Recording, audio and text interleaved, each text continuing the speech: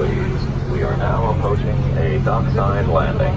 If you are seated, please remain in your seats. Please exercise caution when standing or moving around the decks should there be any unexpected vessel movement. Please hold handrails whenever possible, particularly on stairways.